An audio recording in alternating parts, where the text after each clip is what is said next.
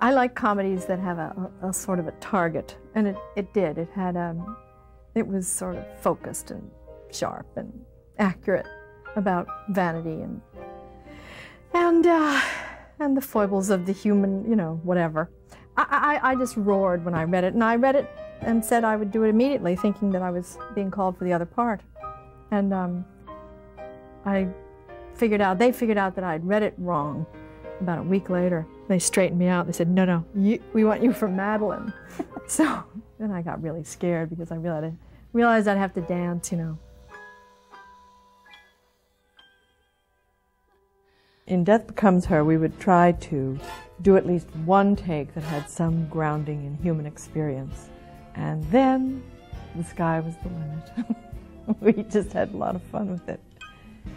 My character is um, Madeline Ashton, is very evil. And it's not her own fault. She can't help it. And the world and the way it is forces her to behave the way she does. We see you, You mean me? idol goddess, shameless hussy, diva. The idea was that it wasn't a very good number, but one of the hardest things to do is to do something that is just a little bit bad. It would be easy to do it ridiculously bad.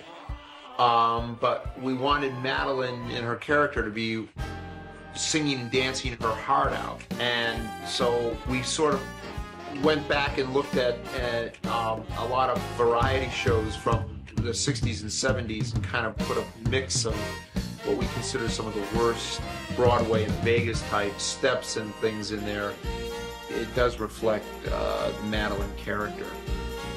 Flashy, and that's of course what uh, dazzles Bruce. She's sensational.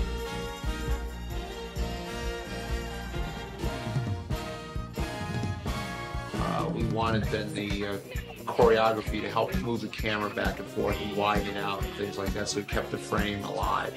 And the other thing that makes the, the number a bit off, you know, puts it a bit off for the audience is that the other all the dancers are just dancing their heart out, and uh, some audiences we've shown the film to aren't really sure if this is a bad number or it's just uh, bad cinema.